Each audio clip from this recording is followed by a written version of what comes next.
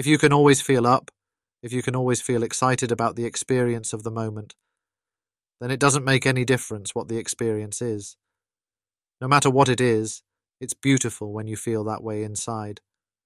So you learn to stay open no matter what happens. If you do, you get for free what everybody else is struggling for love, enthusiasm, excitement, and energy. Better to be open no matter what. When your heart starts to close, just say no. I'm not going to close. I'm going to relax. I'm going to let this situation take place and be there with it.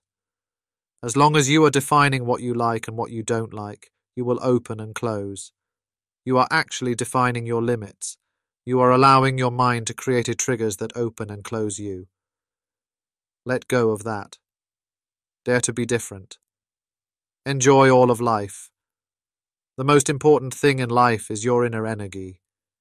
If you're always tired and never enthused, then life is no fun.